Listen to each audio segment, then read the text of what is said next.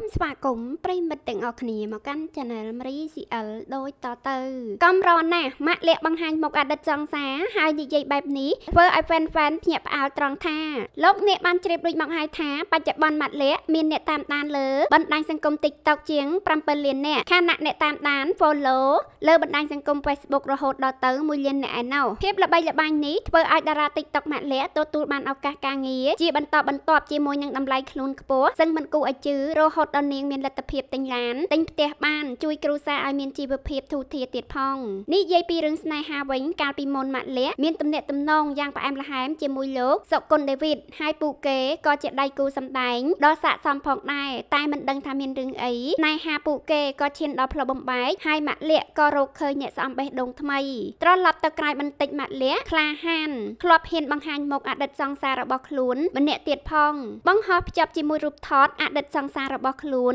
កាលគ្រាកន្លងទៅម៉ាក់លាក់បានលើកជាសំណួរនិងបញ្ជាក់ច្បាស់ច្បាស់ថាអ្នកណាថាស្នេហាមិនអាចខ្លាយជាមិត្តភាពបានឲ្យតែយើងបើកចិត្តឲ្យទូលាយទៅ បានហើយអរគុណអិចដែលតែងតែផ្ដល់ស្នាមញញឹមរហូតមកជូនពរជួបគូស្នេហ៍ពិតឆាប់ឆាប់នេះវាជារឿងកំរមួយផងដែរដែលមនុស្សបែកគ្នាហើយអាចកែប្រែពីសង្សារទៅជាមិត្តភ័ក្តិបាននោះខណៈមនុស្សមួយចំនួនធំទុយពីម៉ាក់លាក់ដោយពួកគេមិនអាចធ្វើចិត្តបែបនេះបាននោះឡើយឲ្យតែបែកគ្នាហើយសូម្បីតែ friend ក្នុង Facebook ជាមួយគ្នាក៏ត្រូវប្លុកចោលដែរនោះជាស្ដែងនៅពេលឃើញម៉ាក់លាក់ធ្វើចិត្តបែបនេះនោះអ្នកកំទ្រូនៅមិនសុខលើកឡើងដូចនេះថាខ្ញុំប្លុកចោលម៉ងបងរាប់អានគ្នាបានលុះត្រាតែលុយសងមិនតន់អស់បើកចិត្តមិនរួចទេបងបើកចិត្តមិនកើតបើគ្រាន់តែបែកភ្លាមគេប្លុកផ្លេតអិចអ៊ុយបើខ្ញុំវិញប្លុកចោលអត់រាប់អានទេនាំតែឃើញគេផុសអីឈឺចាប់លុះត្រាតែខ្ញុំមានថ្មីបានអានប្លុកវិញ